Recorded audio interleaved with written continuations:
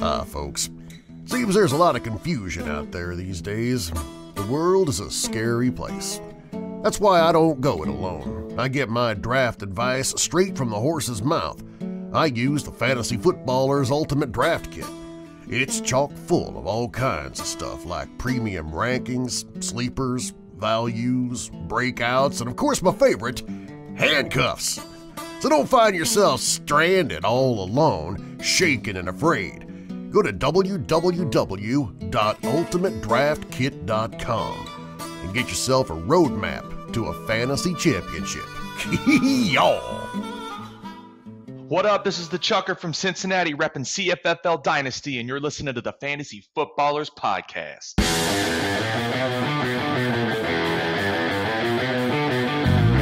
Welcome to the Fantasy Footballers Podcast, coming to you from pristineauction.com studios with your hosts, Andy Holloway, Jason Moore, and Mike Wright.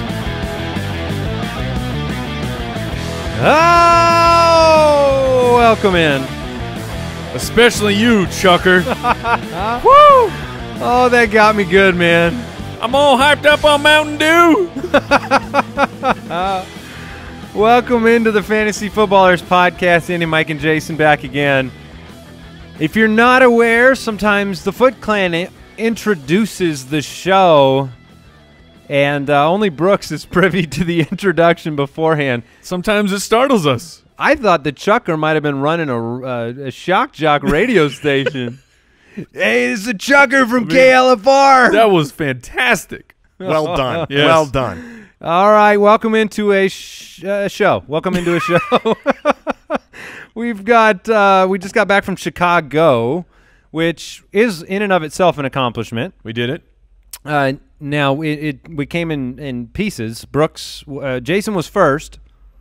Uh, he left early to uh, To see my son's musical performance he was in in the morning back in Arizona, and uh, my flight was the smoothest, so thankfully I just missed it. yes, that is not a lie. Thanks for the delay. was feeling bad for him. Then we got canceled. Then Brooks came back secondly.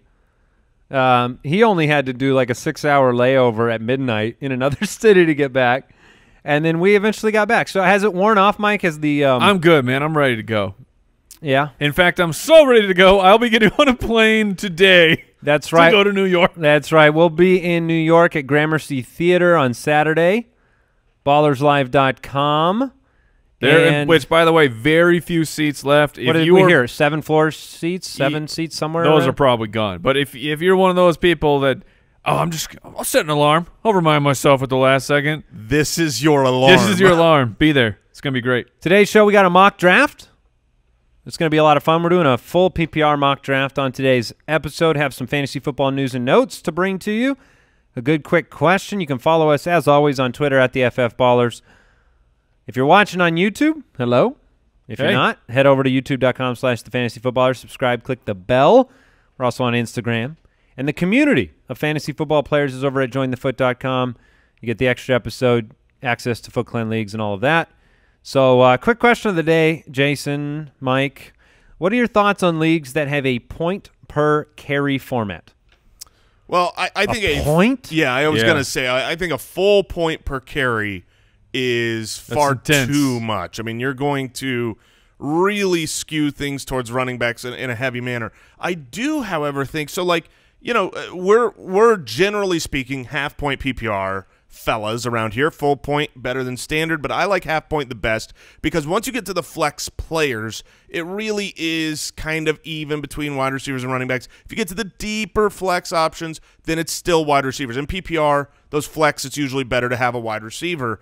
Um, in the point per carry, if you give like 0.1 point per carry or something like Which that, Which we do in in our league of record. We do give 0.1 per carry. that that really helps even out those deeper flex players because those those last guys, I mean, you know, they're they're not getting Zeke type carries. Yeah, it, I, I like it. I'm with Jason that it just it gives some of those lower tier guys. It's it's trying to find a way to to add value to them, and then you the the bonus. I don't think this is a reason to completely do this, but I have seen more than my share of the heartbreaking loss of the quarterback kneels out the ball, which is a rushing attempt, which is minus one, which is minus point one. So it it does seem to balance that out. I remember a time when you had so many more workhorse backs. I don't want my league being ruled by Derrick Henry. Right. I don't think. Um, we're in an NFL now where it's kind of been neat over the past few years to see fantasy teams that miss out on top tier running backs have the ability to win weeks with an Austin Ekeler if they make the right start and Right. decisions like that that are more difficult if the uh, PPR format isn't, you know, if you have the carry uh, point per carry, you're just going to be so heavily leaning on those guys. Um, Yeah, full, the the last thing I'll say, a full point per carry, it just makes those uh, the already most valuable player, eh, which is like last year Todd Gurley. But I mean, those were Zeke, Christian McCaffrey. It just takes them to a a whole new stratosphere where if you don't have a, a top six pick, Yeah, good luck. And Yeah. and that's really the issue Rough. is that we know who those players are going to be, and there's not a lot of them. So if you get like what we're doing today on the draft in the PPR mock, we're giving ourselves pretty much the hardest, what I think is the hardest spot to draft. The more that the season has gone along, I really don't like drafting from like around the 10 spot. That's where we're going today. yeah, we're going And if we were in a point per carry league, we, we lost. I mean, is how it feels. Right. Because you don't get one of those top elite full point per carry running backs. would be interesting for some of the wideouts that get a consistent two or three carry attempts Little a bump, game. yeah. they'd get a little bump. All right, let's get into the news. News and notes from around the league. Presented by Sleeper. We'll start with some news, uh, footballers news, because we wanted to make sure that our our show podcast schedule was out there. If you're new and joining the show, right now we're two times a week. yeah, But in July, which is, by the way, next week, we bump that to three shows a week in July. And then we are five episodes a week from August through December. The season is somehow, some way inching closer, Jason. Yeehaw! As the cowboy would say. yes, the cowboy would say that. That's all they said. Um, but that's exciting. We've got new, more shows coming up. So uh, next week, starting with uh, what the Chicago or the New York live show, Brooks. When does that go up for the listener? Tuesday, right? Tuesday, right? Tuesday. Okay. Yeah. So you'll be able to hear that if you're not in attendance, of course. All right, Bengals first round draft pick. This is a tough one. Their left tackle Jonah Williams is likely to miss the entire 2019 season. Yes, he's a rookie, but yes, we saw the impact on the offensive line in Cincinnati without Andrew Whitworth when Andy Dalton struggled. Joe Mixon, you were looking forward to this new yes. piece on the offense, weren't you? Yeah, and they, and they had moved their previous left tackle that wasn't that great, but two guard to actually bolster that position. So this is kind of hurting two positions here with the loss of the uh, of Jonah Williams and and you know so the question especially I mean like today, right? We're going to be on the clock in a situation where I'm really tempted to if he falls there take like a Joe Mixon. But does does the news of the left tackle going down, how much does that affect Joe Mixon? Because that obviously is going to, uh, you know, your your offensive line factors in huge to the running back. Do you change nothing or do you change a lot? Well, I think we were all looking for Mixon to take a step forward regardless.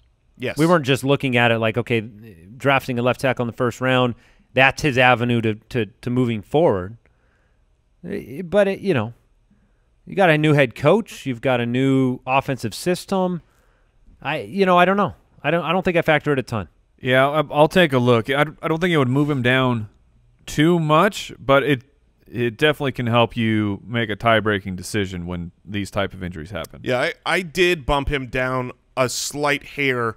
Um, Just the slightest. just the slightest, but it did it did little move, hair. it did move him. He he before this was behind David Johnson in my rankings in half point PPR. He or he was ahead of him. Now he's behind. All right, if you listen to the Chicago show, you heard uh, some Sony Michel remarks from uh, one Jason Moore. You felt the shade. Yeah, well, NFL Network's Mike uh, Giardi reporting that Sony Michel is running at quote full tilt, which I thought you were supposed to run straight up Yeah, and down. full but tilt. this is great. Well, as one knee is, you know, Oh, has a problem, so he's okay. running full tilt. 45 Uh-huh. degrees over. I've never heard of full tilt being a good thing. I, I've definitely heard it, but it's Oh, just yeah. it's a strange thing, especially considering how the fantasy community we have fully embraced the the concept of tilting. Tilting is is very negative. which is what you will be doing when your second consecutive New England Patriots prediction fails you this year, Jason.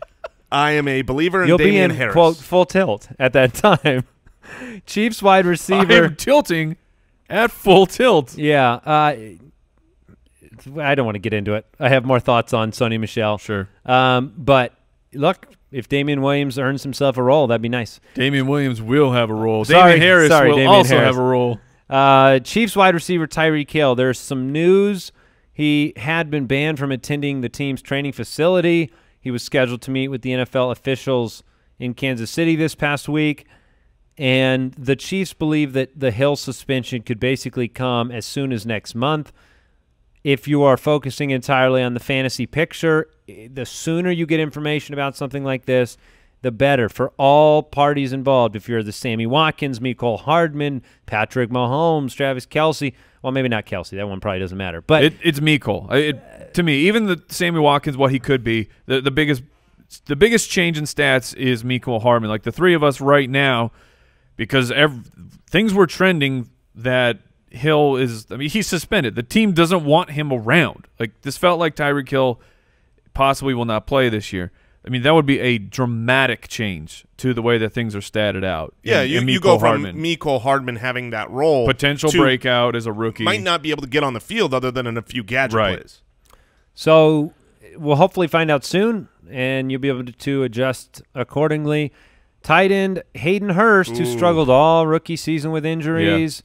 Well, he's struggling again. Hamstring injury for Ravens tight end Hayden Hurst. He put on extra weight this Questionable. off season to hopefully stave off some injuries. And the first thing That's that what I has tell my wife too. Questionable for training I've put camp, on by the way.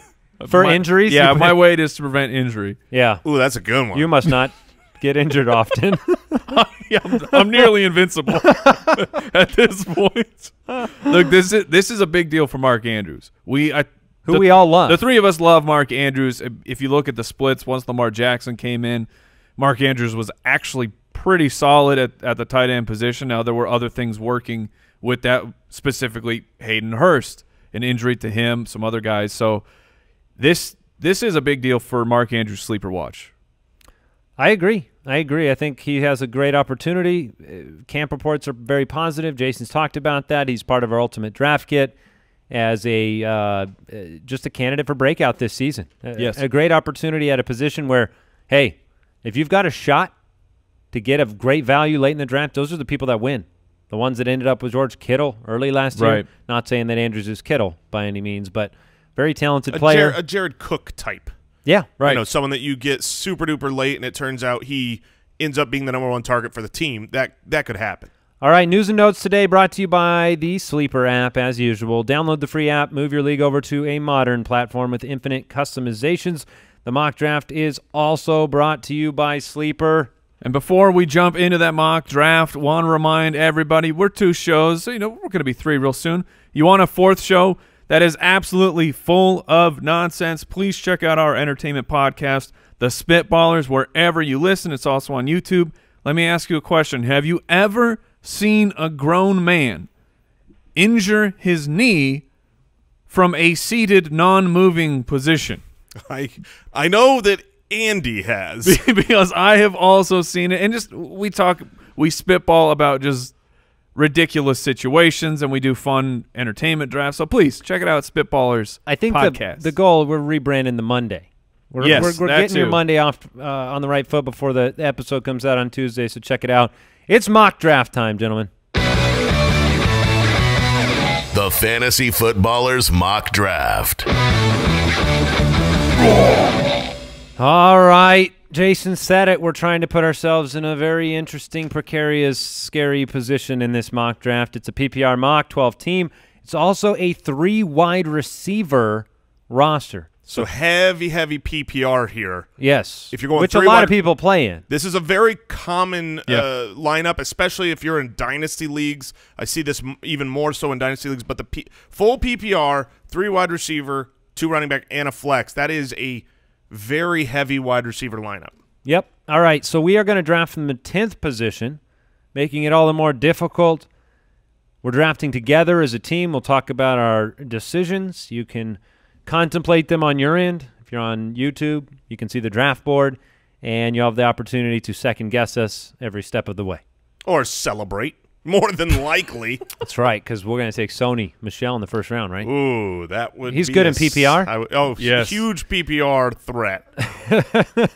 Those seven catches would be worth seven points. James White wishes Yeah. Yeah. he could catch like Sony Michel. All right. Number one overall, Saquon. Two, McCaffrey. I get that in a PPR for sure. Ezekiel Elliott goes three, David Johnson four. And then at number five, DeAndre Hopkins off the board. Alvin Kamara six, Davante Adams seven, Melvin Gordon eight, Michael Thomas nine, and here we are. Yeah, and so nothing out of On the the ordinary clock. so far. I mean, No, I mean some rearrangement, Yeah. but the same names are off the board that you'd expect, right? Yes, exactly. And if I'm at the tenth pick, those to me those are the big running backs. I'm even going to include David Johnson in there just because Mm-hmm. I, I things are trending in a very nice way for for, for him especially for fantasy. But I'm not going to go with that second tier of running backs when Julio Jones is on the board in a PPR. Like this is I don't really have to think or debate very much at all. It would be close to a, a smash. All right, let me- Julio Jones is in. let me make the argument against because honestly, I- I'd probably lean towards Julio here. But the you know to to be the devil's advocate here and say, okay, how, how many we we've got two of the next six picks being at Right. the tenth and a twelve team league. So Julio is great. Odell Beckham is great. Juju Smith Schuster is great. I, like at wide receiver, I'd be super happy with you know one of those three guys. Also, huge PPR guys in Antonio Brown and Keenan Allen are still sitting there as well. And then at running back, Joe Mixon, the aforementioned guy, who would be my next running back up, I, I'm happy with. I'm still hesitant a little bit on Le'Veon Bell. I mean, he's great. I'm not saying he's going to be bad, but I'm not all in. I know James Conner could be great. Andy, you're not all in on James Conner. So, who, who, you know, Andy loves Dalvin Cook. Because Because you're Lev, you- Lev Bell should catch a ton of passes in New York. He should. This should not Yes. be. When you talk about James Conner or Dalvin Cook, you're probably hoping for 50 receptions, 60 receptions. When you talk about Lev Bell, you're hoping for 80 receptions. Correct. And that would be the difference here. And that, you know, if, if he can put up a season like people, some believe he can, that we've seen before, or something close to it in a PPR format, you're getting one of the few running backs that can catch the ball that many times. I just don't think his season will be anywhere close. I don't think his total yardage will be close to when he was a Steeler. Even if the PPR numbers are there. Yeah, I mean, yes, the the it's fantastic to have that that If baseline. Julio wasn't on the clock here, I think it would make this a more interesting debate for me. But that I lean Julio. yeah, in a, in a PPR, I lean Julio over Odell. Although I've I have been rising more and more on Odell Beckham Jr. I, he's just he's so Ah. talented, and now with a great quarterback, I'm excited. I'm excited to see Odell this year. Well, we took uh, Julio Jones and then four picks before our second round pick. They were Lev Bell, went right uh, after Julio, as expected. Odell Beckham Jr. to finish the first round. Travis Kelce. Yeah, Sneaking up to the top of the second now. I was hoping he would fall to us so we could see what our team looks like if you're spending that second round pick on Kelce and a three wide receiver. And that's really kind of the Don't get the chance. the motivation, the point of doing a mock draft, um, doing one in this format, getting a chance to experience, uh, experiment a little bit. Joe Mixon went after Travis Kelce, so now we are back on the board. Obviously, there are some powerhouse wide receiver options. I mean, Juju dropping into the second round here is interesting to me. Um, three wide receiver league makes me feel just fine going two wide receivers to open this draft. Other running backs, James Conner, Dalvin Cook, Gurley, who Oh man. I mean, Oh. look, he'll he'll be targeted. So A it- lot. Here's how wild things are with Todd Gurley currently. We are doing these eliminator drafts for the the charity Fantasy Cares, And these leagues are they're wild, man. Where it's it's a best ball tournament, and you you put up the low score of the week, you are kicked out. Seventeen teams in these leagues. I got Todd Gurley at three ten, and I wasn't even sure I wanted to do it, but I s- but I took him. So 12 team, third pick of the second Yeah. round. We're bypassing on Todd Gurley right now. Apparently, we are. Um, so here's the thing. I, I'm usually hesitant to start wide receiver, wide receiver, right? That's Ugh, can you pass Gurley here? Oh man, I a can tough decision pass for me. Gurley. Is it tough for you? It is. I mean, I've, I'm sitting here staring it down. I think the thing that dissuades me is, you know, we took a man. I think what dissuades me is having the extra starting position. Okay, you've got the extra wide receiver position. The league is deep. It's a 12 team league with an extra starter, and uh, I've got we got a long wait here, and so not having a, a sure thing, a locked and loaded guarantee at number two, having any of that risk, it it's it dissuades me. Yeah. So uh, here in a mock, I would be personally fine trying out Juju Smith Schuster. that's who I would take. if it seeing was a what wide happens receiver. if we go wide receiver, wide receiver. If we were to go running back between James Conner and Dalvin Cook, I would still lean on the James Conner side. Um, I know you would as well, Mike. Yes. Uh, yeah, I mean that's a tough decision between the two. Fortunately, we don't have to make it. Juju Smith Schuster off the board, making us the only team in this entire mock draft that went wide receiver, wide receiver to open the draft. Interesting. Uh, there were three teams, four teams that went running back, running back. Um, In a- we were the only two wide receiver in a three wide receiver starting league. In a full PPR, it is not inconceivable. I know right now in our consensus rankings, that is two of the top four wide receivers. Juju should be, uh, you know, we, we talk about Julio as a PPR machine. Juju will have so many receptions this year, as safe as it comes. And if the touchdowns go up, you're talking about the the upside of a number one, Yeah, I mean, the great number one. uh, best combination of wideouts, that's for sure. Conner, Gurley, Damien Williams, three running backs off the board right after Juju, and three more in this round um, after Antonio Brown, Dalvin Cook, Adam Thielen, Mike Evans, Leonard Fournette, Nick Chubb. Nick Chubb, a uh, an interesting PPR decision for people. Yeah, because he can catch the ball, sort of, but they they don't feature him like that. I mean, you, you're expecting 30, uh, 40, maybe 40 receptions for him, and you'd be happy. At least he's one of the be. he's one of the players that, for better or for worse, when he when his name is brought up in a dedicated PPR league, I definitely look at him different than Yeah, I he, do it in a feels like half-point he league. should drop. Yes. Oh man, there were two running backs that I that I really wanted to get to us here in that third round. Even though it's not a full, even though it is a full PPR, I still think a third round Marlon Mack is good. And of course, Kerryon Johnson, I expect him in a full PPR league to be battling for a running back one spot. And they were two of the three picks right ahead of us. Yeah, the third round went Cooper, Aaron Jones, another guy I was hoping would get to us. T.Y. Hilton, George Kittle, Devonta Freeman, Zach Ertz, on Johnson, Keenan Allen, Marlon Mack. Is there any regret going Juju now that you see the next two rounds? Mm, When you see there were uh, an additional I, I 10 mean, I- running backs off the board. I guess so. Uh, we're at we're at the turn, and just looking forward for this pick. To me, there are There's only one pick that I feel confident in taking. Really? Just one. At the running back position. Oh yeah, I was, but I'm Sorry. look- sorry. Yeah, that's why I'm I'm looking. I'm evaluating the wide receivers because there's three guys I love at this spot. Uh, I'm still on Team AJ Green uh, until I hear further that like something something's going on with the the injury recovery. If everything is smooth sailing for that, I'm still very much on uh, that he can be an elite player.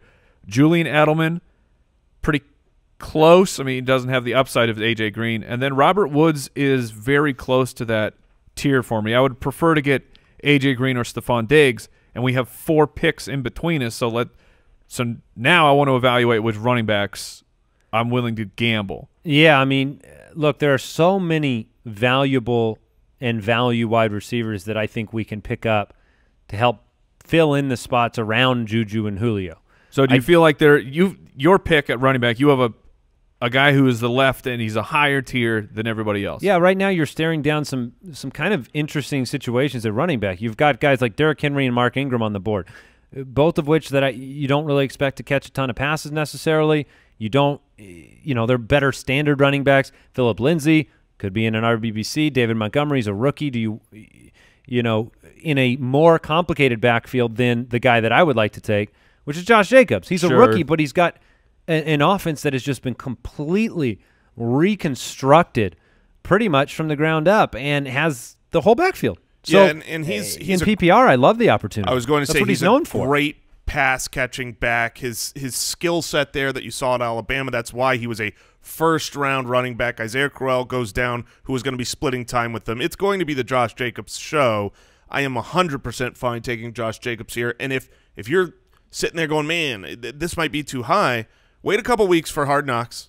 and then as soon as that starts playing, Josh Jacobs is going to be going probably ahead of this spot. Personally, and I know I know that I am on my own island here from you two, but I think Kenyan Drake here is also a very good pick. He's a great pass catching back, and in a full PPR, I'd, would take him here and not try and get him no, on no, the no. way back. No, no, no. Uh, that's a great point that you bring this up. Th- this is where I might say, look, if I really want AJ Green or I really want Julian Edelman, if there's one of those guys who, to me, Robert Woods is is is ahead in my rankings, and I want to grab one of them, then I think Kenyan will will be there. Or you wasn't try to take wasn't two one of the torture things in one of those Saw movies where they made somebody have Kenyan Drake as their RB one in a league? Because that's how it would feel to me if I pass on another running back here Start him. and have to make Kenyan Drake of the Miami Dolphins my running back one. Start Kenyan. Yeah, I I won't do it. You can just I would just uh, kill me. All right, I would take Jacobs here. Yeah, are we good? Can we Yeah, do that? oh, yeah. because I'm Yeah. with you. Please, I've got somebody Jacobs. take I've Kenyan got Drake. Jacobs well Come on. ahead Come of on, Kenyan yes! Drake in my ranking. Patrick Mahomes right after Josh Jacobs, AJ Green, Stefon Diggs, Derrick Henry. This is where I think a tough decision comes Oh, positionally it's not tough for me. for us. Now you, uh, it's not tough for you because you want to take Julian Edelman. That is 100% correct. so you want to go three out of the first four at uh, wide receiver position. Yeah, at this point for running backs, I'm looking for guys who they're going to catch the ball. So why Julian Edelman over the likes of Robert Woods? Julian Edelman Brandon was Cooks. Uh, let me. I can pull up the exact where he was, but Julian Edelman was after he had returned from his suspension last year was the wide receiver eight, and he he's he is the offense. Newly extended, yeah, newly extended. This this is not. They think that so he much is- taller now. They pulled him. they, they extended him out to what six four now? Is that right? Yeah, they, they got the San Francisco taffy machine that that really works out those muscles. Just pull, just pulls them. yeah. He was the wide receiver eight, and this offense, it's still going to run through Julian Edelman. They don't. They do not think that he is washed, and they're not moving on. from a reliability standpoint, someone might say, "Hey, look, Robert Woods is a better selection here. Great offense." Jason, you love Robert Woods. If you stare down Edelman and Woods, do you take Edelman? In a full PPR, I think I do take Edelman. Uh, I mean, uh, Robert Woods is ahead We in are my in a full PPR. in my half PPR rankings, but I think that the consistency, the fact that you know you you had half of last year without Cooper Kupp, I, I like both guys. I would be fine with either, and I I agree that in a three wide receiver flex league, I would go with a third wide receiver here because you're you're looking at going okay. Do we take the running back because we feel we need a running back? Because you know we do. We've got one, and he's a rookie but the running back is far less talented that we're going to be taking here if it's Kenyan Drake or someone like that versus uh, a top, you know, a, a, a wide receiver one quality player as our third wide receiver starter. I think there's part of me that is just curious what our running back core is going to look like later in the draft with such a commitment. It'll be in a fine. full PPR. So we'll go with Edelman. That's fine. Julio Jones, Juju Smith-Schuster, and Julian Edelman. Is ridiculous. If Joe Mixon, I'm very happy If right Joe now. Mixon could have slipped three picks, and we could have had him as our RB one instead of Josh Jacobs. He only needed to slip one pick, Yeah. really. He was picked right. but right then we ahead of wouldn't have second. Juju. No, I said if he slipped into the third round, he went one after Juju. But if he one before Juju in the second, I believe. Yeah. Oh, he went. You're looking- okay, I'm sorry. I was looking the wrong direction. You're absolutely right. Makes sense. Um, Follow the snake. yeah, it is. It is. Um, so we took Julian Edelman. Robert Woods went two picks later. Golladay off the board. Some other highlights of this round: uh, Brandin Cooks went at the eighth pick. Kenyan Drake, see you later. 409. ahead of Phillip Lindsay, ahead of David Montgomery. So, Jason, Mm-hmm. other owners thinking like you did incorrectly. Uh, Cooper Kupp, Tarik Cohen, Andrew Luck, Ornery today. Tyler Lockett. Just burying. Well, because I don't like Drake? Yeah. Barry and Drake. Yeah. I, I look. I think he's a talented musician. Uh, I think he can call me on the cell Please phone. don't and make a he's cell gonna- phone joke. Too late. Anything. Anything. It's the only it's the only Drake Oh. reference he can pull out. All right, Tarik Cohen, interesting PPR player for sure. Probably a value there at 502. Andrew Luck and Aaron Rodgers go off the board in this round, and then some of the most difficult players to draft in a PPR league. When do you take a guy like Sony Michel? When do you take a guy like Chris Carson? They They both went here in the fifth round, and it's hard to kind of. How do you make that decision on players that you know are so not pass centric running backs? Uh, I mean, look, I, I, you know, M- Marlon Mack is a little bit more uh, passable in the receiving game than these two, but I, I was fine for him in the third. I think sometimes players overdo, uh, and, that's not to say you shouldn't keep that in mind, but sometimes they overdo the well, this guy doesn't catch passes, so I'm not going to draft him in a PPR league. If he is like Chris Carson or like Sony, has the opportunity to be a, a heavy touchdown utilized big volume back, I mean, there's a value. And honestly, the fifth round here, I think that's where they both belong. All right, here we are in the clock. Some decisions to be made. We have three wideouts: Juju, Julio, Need more. Julian Edelman. While we are, um, we can put one in our did, flex. did we intentionally go after guys whose names begin with the J U? Because we've got three of them. Oh, no. Got Juju, got Julio, got Julian, You could have said just Jay because we got four guys. yeah, all four. and Jacobs. So that James, now, James White, you're on the now team. we're locked in. We've been making a lot of money on Wheel of Fortune right James White actually is a, a great pick here, but do you worry about any of the? I don't. I worry about Mike giving Yeah. us. I worry about. James White. Well, here here's what you got to do. First of all, do you feel committed to a running back at this position? no. You don't. Well, that answers that question. But if you were looking at running backs, James White's still on the board, an absolute monster in the peop- in the receiving game, targeted what six, seven times a game by Tom Brady, and your other options at running back at this Are point not good. Are not good at all. You got uh, Lamar Miller, I guess. Uh, you take a chance on Rashaad Penny. You're talking about an RB two here. Miles Sanders, another rookie, doesn't feel very good. In a full PPR league, I think James White is an extremely. I think he's a steal. I think he's an extremely good player in full PPR leagues, and that's not. Look, if you go back to 2016 when he had the breakout year, he was a receiver, and he's he's a guy that's going to be up at that 80 plus catch mark, especially now this season. No Gronk, 87 receptions last year. yeah, and, and, and I fully expect the the carry number to come down from last year, and I think the touchdown number that he had will come down as well. But he was the running back nine last year. I, I'm not expecting that, but to be in the uh, in the fifth round, the the latter half of the fifth round, the real question then becomes: a lot of times people won't take a James White because they took a Julian Edelman. They got two Patriots. They don't want to stack the wide receiver running back, and personally. I don't have any problem with that. If that player represents that next tier break, I mean, I you know, again, you you don't want to overdo it, but I think both players are good. I would be fine that route. Mike, I want to hear your counter argument to go James White here, either at the wide receiver or the tight end position. Tight end, full PPR, there are only a certain number of tight ends that are going to get a high volume. Do you think about going that direction with someone like Evan Engram, who you like? Yeah, but, but for the tight ends, I mean Hunter Henry and Evan Engram are both there, and I think that they can be higher volume. Evan Engram, I lean uh, towards him because it's there is the possibility that Evan Engram is the second highest targeted player on that team, and that's behind Saquon Barkley. So it, I am not locked into James White. I, I totally get the argument for him. There's just the the regression that I think is going to hit James White is going to leave a lot of people very very disappointed. Maybe less disappointed in a full PPR league. Certainly, uh, certainly uh, the, the full does, but the the rest of these guys, you are at the running back at least. You are doing a pray and spray with Tevin Coleman. That's how it feels. You hope that he is the guy. Rashaad Penny, you we assume he's that pass catching role that that Mike Davis had last year and splitting carries.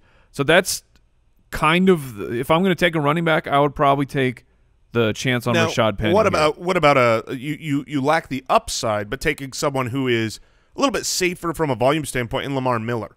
He he's never that's somebody fair. that people are excited. To. I've never like this year been like yes. Didn't we? Didn't we end up with Josh Jacobs and Lamar Miller on one of our previous mocks, or am I, I don't misremembering? I don't recall. Yeah, I don't remember what I had for breakfast, Andy. If you think there's a chance that I know, We do mock a few times. I think every he was on your the head-to-head mock draft. he Uh, was on you mean your when I drafted the Houston Texans? Yes. Yes, that. Uh, Yeah, that was a unique strategy. yo, you listened to that one, Mike? No, I While saw you the were in- results in, the airport. Yeah. Um, I had a lot of time. at the wide receiver position, there's huge names that Oh, everybody gr- loves. This is one of the reasons why I thought maybe you want to take a running back that you like earlier because I just knew that there were going to be some of these guys we love: Mike Williams, Jason, Sammy Watkins, Robby Anderson, Chris Alshon Godwin. Jeffery, Chris Godwin, DJ Moore, Dante Pettis. These are all. And we're on our short wait. This is the fifth round. We make a pick. We wait four picks. We pick again. I mean, I'm not I'm not going to be happy or, or I'm not going to be unhappy with any of these wideout options. My vote is James White, but I'm going to hand the pick to Mike. Ooh. Oh, I like that. I like putting Mike on the spot here. This is this is why when you're and this is something important, Foot Clan. When you're like you should be mock drafting. Don't just listen to mock drafts. Go and do your own. It prepares you so well. And when you do it, don't just draft exactly who you're going to draft in the draft. In order to be water, as we stay say, and and know how to be flexible, you have to take guys that you wouldn't necessarily take at positions you wouldn't necessarily take to say, oh yeah, you know what? If I'm at the 10 spot and I go three wide receivers out of my first four picks, I I've got so many wide receivers I like in the fifth, sixth, seventh round, and no running backs, and you you learn that way. I am going to open the antibiotics, pour it onto the to the uh, the applesauce because this is not a pill that you can swallow Oh, in the fifth no. round. I'm taking Lamar Miller. Oh no! I thought that was your whole analogy for taking James White, and I was Oh, never, happy. never. The thing about kind of looking back and saying, "Hey, there's a bunch of other wideouts that I like," I don't think that I feel any different about Lamar Miller or James White there than I would have felt about missing out on Ingram or Drake or Lindsay or Montgomery. So I don't think taking Edelman was the wrong choice there. I think the more interesting thing is we backed ourselves into that position by taking Julio and Juju. It was Juju. One was the- two. Yeah, it was the second round uh, bypassing. Could have taken Gurley. Gurley, James Conner. I'm very happy with this team. Yeah, Okay. look, I, I I like the stability of Miller and the carry count just just with the Josh Jacobs rookie. Yes. this is one of those things where this is a roster where at the end I don't know that you're going to get the votes, but if you go into an actual fantasy football season with this roster, it's going to do. I, I think it's going to do very well. I had hoped that maybe James White would just slip back into this pick so we could just talk about him more and more. Chris Godwin, Please. Sammy Watkins, James White, Tyler Boyd, the next four off the board, which means you you still got your Evan Engram option. I think he's very interesting here That is very interesting. because we have three wideouts, and I think he's very interesting as a PPR guy in uh, this format. Who are the the remaining tight ends? Uh, you have Hunter Hunter, Henry. Henry, yeah, uh, Ebron, Cook. But I'm saying so after Hunter Henry and Engram, there's a pretty large tight end cliff. I mean, Depending on your view on Eric Ebron, there's a there's a large cliff because it's Ebron, Cook, McDonald, and Njoku. I, I definitely think there's a huge drop off. And personally, I would put Hunter Henry in the group with with Eric Ebron. okay, you got Engram above him. One hundred percent. I think Engram is the last guy in a tier where we know he's going to be heavily utilized in the passing game. So if we wanted to take Evan Engram, I would have no problem with that. I find that I end up with him a lot in these middle rounds because he is that last tight end that I would enjoy having after a draft. And I go, oh yeah, my tight end spot's locked and loaded. there are wide receivers I really like here. Mike that in a normal league, I would I would be hesitant to pass on for Evan Engram. But Mike Williams is very much more of a standard league type of wideout. Um, even guys like Alshon Jeffery, I think are going to fit that mold. Robby Anderson, you know, these are not PPR monsters. These are big play touchdown type of players. That makes me more comfortable with Engram. I'm curious what our roster looks like that way. I want to take Engram. Uh, my counterpoint to what you were talking about is this is the guy who's going in our flex. So just perceptually how we're thinking about this player, I'm I would be very happy getting a guy who's like a Mike Williams. He's that big play. He's my he's my turbo button in the flex because I know that between Julio, Juju, and Julian, I mean those guys are pulling in thirty plus receptions a week. I- But I see, am- the tur- he's not the turbo button. He's the guy you start in place of Julian Edelman in week three. when Edelman goes down, Get out of here. he's your wide receiver three. oh, Get out of Oh, here! history of his career. Um, He plays more than three games. if if we are talking about that in the flex spot, and I uh, I'm always fine to punt the tight end and wait and grab one later that maybe I'm not locked and loaded. I think but I'm Njoku can be interesting in a uh, PPR I- format later man, on. I wish I did. But the wide receiver that I mean, I, obviously, I just brought him up very recently. The wide receiver that I like here because there's a chance maybe he doesn't break out, but if he does, he's going to be an awesome, awesome player. Not as PPR dependent as a Mike Williams as Dante Pettis. The fact that he would be our fourth wide receiver, goodness. I mean, you've got a flex option that can that can grow. I, I'm kind of curious if Pettis makes it back to us in the seventh round. Let's roll the dice. Are we? Are you willing to get on the Engram train? I'm 100% willing to get on it, but I want it. There's no chance Dante Pettis gets back. Well, this is the long term. This is where How we're many do we wait? Twenty picks? something like that. Yeah, he's 19 not coming back. yeah. Oh, let's go. Engram, we took him. Henry went next. Darrell Henderson, Baker Mayfield, Mike Williams is gone. DJ Moore is gone. Oh, the wide receiver and running back. Come on, runs. Dante. Come He's on, Dante. still not off the Oh, he's not off the board. Come on, Dante. Just a couple more picks. Oh picks. no! A few Oh, more. Dante Pettis. Come on. Come on, Three. baby. No! No! He ends up going through two pick, uh, three picks ahead of us. I've never been so sad to be right. Oh, see, that's true. You, you're probably not that sad. But Baker Mayfield, Deshaun Watson, Matt Ryan, and Drew Brees all went off the board in that run, and all those wide receivers we love so much: Mike Williams, Dante Pettis. I'm more upset about the Robby Anderson. Yeah, Robbie personally. Anderson's gone at 7:08, and so we are on the clock. We can do what we want, gentlemen. We can reinforce the running back position. I think that that is an option. You're looking at Nah. some more risks here. Um, Latavius Murray. I don't think I want the Lamar Miller Latavius Murray combination. Uh, Miles Sanders, Ronald Jones, Royce Freeman. If we're Man, looking, it's so- rough at running back. Yeah, at running back at this point of the draft, I would take the shot on Miles Sanders, who uh, we're, we're still pretty early on. You know, we're a couple months out from your your real fantasy drafts, unless you're doing best ball right now. But by preseason week three, Miles Sanders could be one of the biggest risers in all of average draft position. I would take him here too because I want to reinforce the running back position. We're still needing a flex, so you want to put yourself in a decent position there. Um, What I want to talk about, Go for it. Uh, a guy who I've loved the entire offseason, Geronimo Allison, wide receiver from the Green Bay Packers, who to me was when when they brought him back, not a huge contract, but they brought him back, and Aaron Rodgers frequently talks about Geronimo. I was I'm very ready. Now I'm a little hesitant with all of the news coming out that Geronimo is going to move from the outside where he had a ton of success.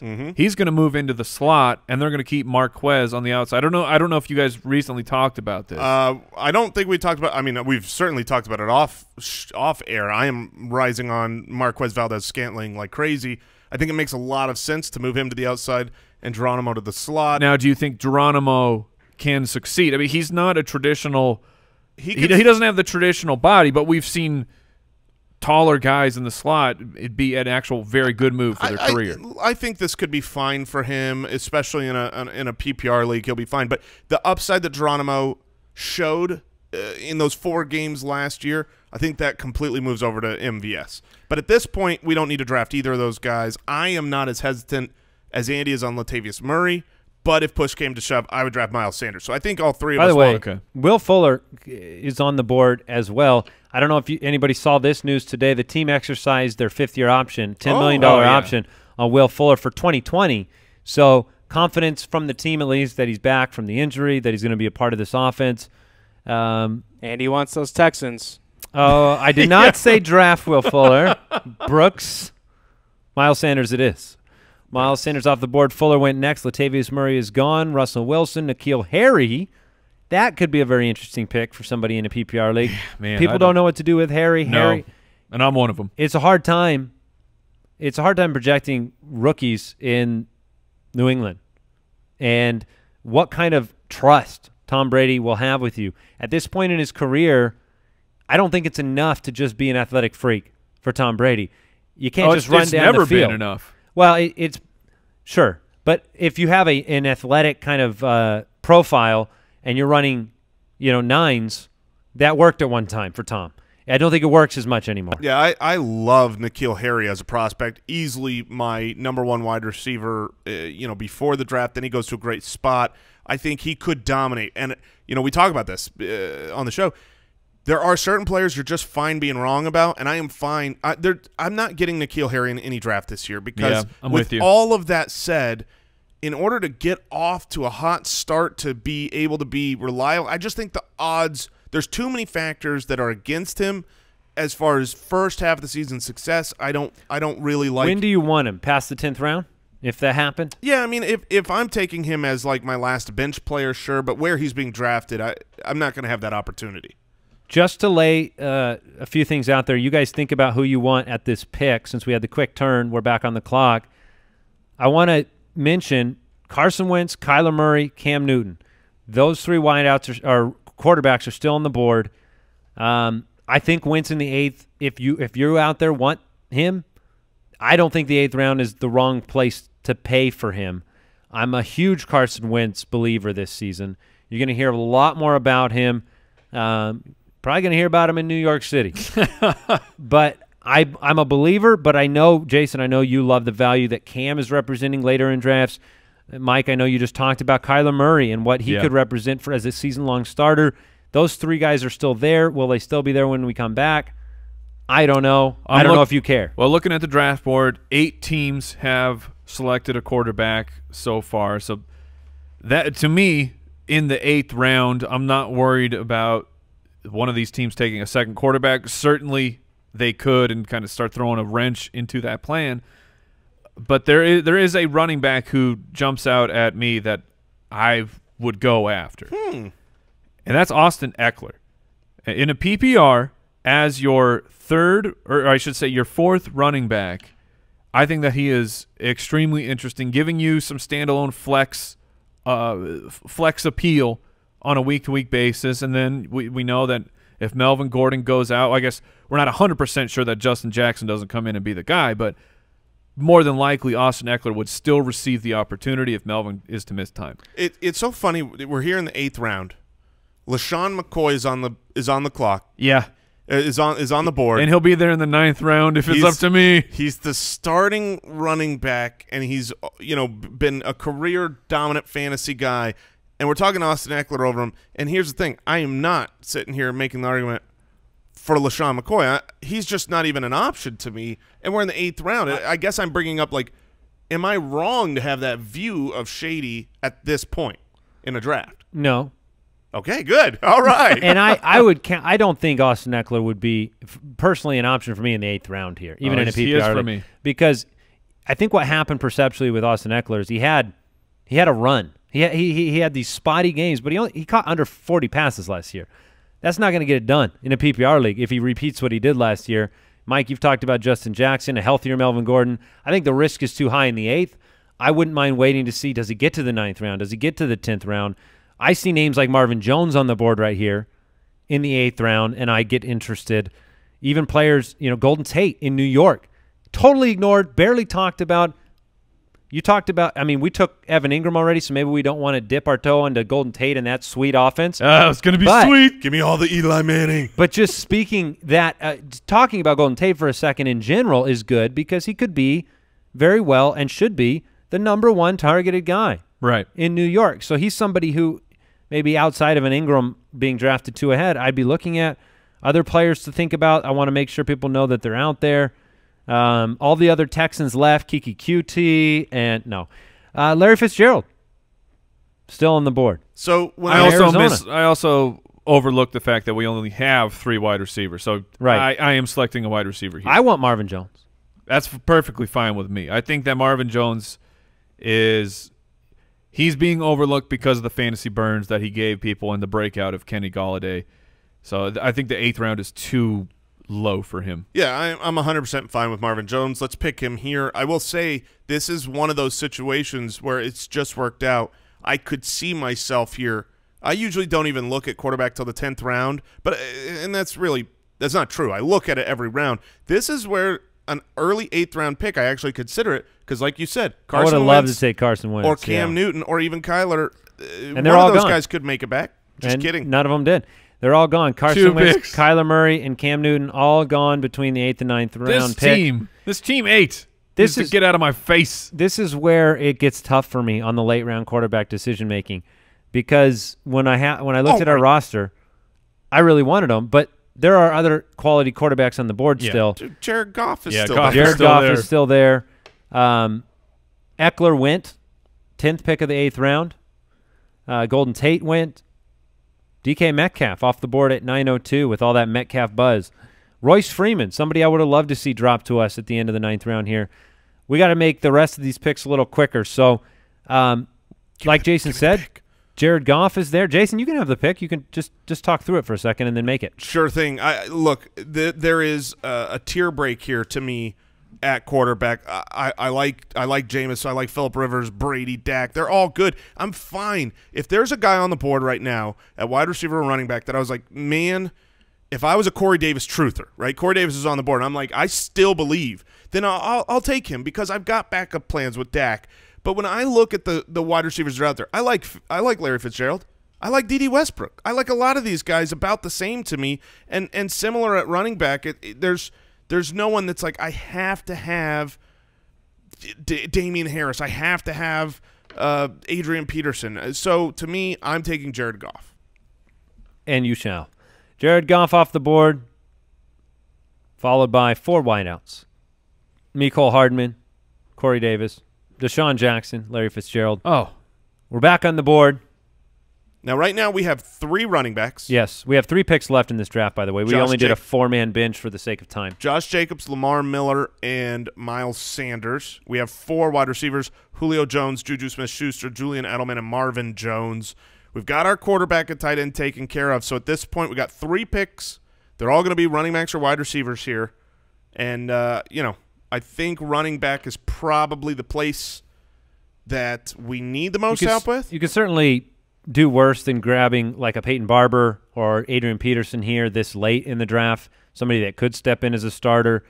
I think for me, the pick is actually Keke. I know I talk all about Texans only, uh, but he is such a PPR um, yes, he is.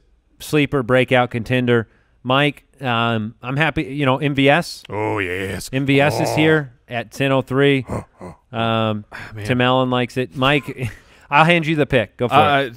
Okay, so if if I'm up, then I'm actually taking uh, Keke's rhythmical repetition partner. Dede. I am taking Dede because I think that Dede could. Dede will be the number one wide receiver for the We We're so Jacksonville close to putting Keke, Dede, Juju together Oh, on oh, one we- team. one of Oh. these times. One of these. Did Keke go? No, well, yes, Oh, but I, was- yeah. I was watching for MVS. I Oh, was sure. really hoping MVS got back to us. I think at this point, when you've got such like the way the, the roster construction, I love Dede as a PPR guy, Yeah. but we've got four really good wide receivers uh, ahead of him right now. And so I would love a swing for the fences type of Marquez Valdes-Scantling pick where it's like he just breaks out. He's must start even over some of these great players. I think Dede would be a safe, solid flex option. It's good for depth, not a bad pick, but uh, I think MVS would have been perfect for this roster. Well, Jason, you can make our second last pick. I'll make the final pick. Tenth round steals. Uh, you know, Devin Singletary went off the board late. Yeah, looking at these Um, running backs. Adrian Peterson went off the board late. James Washington, a shot at wideout in Pittsburgh. Um, Yeah, Go I- for it. So, looking at these running backs, I am going to, uh, in general, in a vacuum, I really love Damien Harris here. I don't want to stack three rookies. I want a little bit more, uh, you know, cohesiveness as far I had as to erase career- my guess because Jason. that's what you wrote down. You I- ruined everything. yes. I was gonna, but blam! I was gonna present it like I knew the future. but I am going running back. You ruined it. I I think Peyton Barber here. It, look, the Peyton Barber Lamar Miller picks. Right. This is where when you take a tight end, when you take three wide can I receivers can I talk you out of it? sure. We Can- haven't. We I haven't, think you should take. I think you should take Nyheim Hines for our team. That's what I believe. You think that should be my? I think you should Okay, pick. talk I think you should into it. properly pick Nyheim Hines here for our team because Hines in a full PPR, great breakout ability, second to last pick in the draft. Looking at the waiver wire, looking at other options that you're going to have. Look, are you going to get a breakout from Peyton Barber in Week One? Do you want to have him as a droppable candidate, or do you want to see if Nyheim Hines has something more in store in year two in an Andrew Luck-led offense? Where he could be an 80 reception guy. I do He could be the Austin Ekeler that we didn't get, and you could get him five rounds later. I think Parris Campbell eats into Nyheim Hines quite a bit, so I worry, but I am 100% fine with trading this pick to you, Oh, for the last Oh. pick? and you can take him, and then I get the next pick. Okay, that seems fair. I took Nyheim Hines. Damien Harris went next. Peyton Barber, here we come. Dak Prescott. um, we do have the final pick, Jason. It's all yours So- right now. Juju, Julio, Julian Edelman, Marvin Jones, Dede Westbrook at wide receiver, Josh Jacobs, Lamar Miller, Miles Sanders, Nyheim Hines at running back. Goff is our quarterback. Engram our tight end. Now, I, I do want to bring up, we, we talked about it on the Footcast, but the quote from head coach Bruce Arians of the Tampa Bay Buccaneers talking about his running back crew, these were not glowing comments. No one stood out. He essentially said, yeah, our running back crew is good okay. enough. he said just okay. just okay. We don't have a Gurley. We don't have a uh, a David, Johnson. Johnson, but you don't need to have one to win.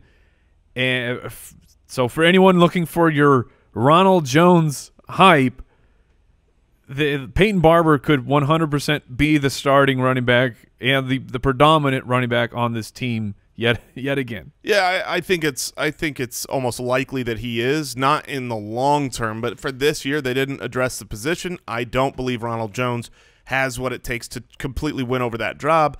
So Peyton Barber is probably the pick. Um, the you know the only other guy that I question here because I know right now we are, are Matt Breida is still on the board as well. I already traded you my pick, Andy. No, I just letting you know. No, I appreciate it. I wonder who he plays for uh, in 2019. so um, I would throw out Donte Moncrief here as a Oh. as a super late, Oh. awesome pick Careful. because we went Moncrief. Said, Um, maybe. Yes, because we because we did that. Now I'm going to go running back. I think our team would be better the way we constructed it with big, heavy hitting wide receivers earlier. I want another shot at just making sure that we're okay at that position. The only other name I will bring up is Chris Thompson. Okay. In a Okay. in a full PPR league, Chris Thompson is the forgotten man in Washington. He is always injured, as Yes. apparently all Redskins are, Yes. unfortunately. But when he plays, he is a dominant PPR player. He is in this system. He makes me more excited He's than in the system like we are allowed to draft him. In, uh, he's in he's in a system he succeeded Oh. in. He's in he's in Gruden's system that he has already found success. He knows it well. He's not a rookie coming in. That, Do you know how many like targets Bryce he had Love. last year, Jay? last year while he was injured. Yeah. Tell me. 55. All right, let's take Chris Thompson. I think he's because he had 55 targets. That's how you make your last selection. He, here's what I will gentlemen. say. At least uh, my prerequisite for the final couple picks is I want to know in the first couple weeks of the year what's going on with that player. I don't want somebody I'm going to have to wait half the season to figure out if week one Chris Thompson targeted ten times. It's a possibility. That's in the the realm of possibility Yes. for sure. Uh, they they do have a clogged up backfield on a team I'm unsure of, but why not? well. The nice thing is their wide receiver, the the the, the players who are going to be receiving the ball, is such a question mark that Chris Thompson could actually become a reliable asset uh, for whoever the quarterback is there. All right. Well, would you? How do you feel? How do you feel about the team? Obviously, the wide receivers we're not going to have issues at that position. Uh, sans injury, but do you feel good enough in a full PPR, twelve-team league, three wideouts starting, to have Josh Jacobs, Lamar Miller, and Miles Sanders is is your top running backs? That's the real question. I think because you are three wide receiver plus a flex, and you've got Juju, you've got Julio, you've got Edelman, Marvin Jones, Dede Westbrook. And it's locked up. I Yeah. like. I feel great about the wide receiver positions. With so I feel You'd be investing that waiver exactly. attention. I feel the waiver attention. I feel good enough with our running backs exiting the draft, but I feel great with the wide receivers, which means week one I'm taking a shot at finding the running back. Week two, I'm going to be trying to find the running back because with those, with those four guys, four to five guys leading our wide receiver crew, it's it's going to be tough to find a wide receiver off the waiver wire who all That of a sudden they're playing ahead of these guys. Right. Yeah, and obviously, you know, And I love our quarterback tight end. the quarterback was a steal. Uh, Value-wise, Evan Engram, a lot of upside at tight end. I feel pretty good about this. Yeah, I like it. And that's even with giving you guys tons of the picks. I mean, just imagine. We did it. just imagine. Pristine deal of the day. What it could have been if What it it was an could have Andy been. only team. We could have had four more I Texans. was going to say, don't imagine. Just go back a couple episodes and see what disaster turned out. Have you been watching a lot of Friday Night Lights? Oh, I got the I got the twang. No, you just, I mean, high hmm. school football, Yeah. big in Texas. Pristine deal of the day. Davante Adams signed Green Bay Packers jersey. JSA witnessed authentic autograph. Seventy-one dollars and thirty-seven cents. Guys, Davante Adams is going to be really good this year. I was gonna say you don't He's have to going to be really good. put these guys in order. Davante Adams, MVS. Geronimo, Geronimo Allison. Allison. sure. I think you just did. yeah, I think I did. but I think a- it's more like Davante Adams. dot dot dot. It's like four tier. Like we do the tier rankings. It's almost tier like one. you guys have written off Jimmy Graham. MVS. I was continuing. Geronimo. Oh wait, you were still. that was delayed. just my pause. So you have you've officially made the switch. I have ama- I have officially I have made the switch. Yes. Okay. Um, I think I have too, Mike. PristineAuction.com. Use the promo code Ballers when you sign up. You get five bucks towards your first sports memorabilia purchase on PristineAuction.com. That is it for today's episode. Look forward to seeing all of you in New York City on Saturday. That show will be live as a podcast on Tuesday and on YouTube on Tuesday as well. And we'll see you next time. Thanks for tuning in. Goodbye. Thank you for listening to another episode of the Fantasy Footballers Podcast. Join our fantasy football community on jointhefoot.com and follow us on Twitter at the FF Ballers. And Foot Clan, do not forget if you need a, a championship ring because you dominated last year, or a oh. trophy because you're so awesome, Oh. you go to fantasychamps.com. You can use the promo code BALLERS. Look, they have the best trophies imaginable. They even have new ones this year. So go check them out, and you can even get draft boards for your upcoming draft this season. Check it out at fantasychamps.com.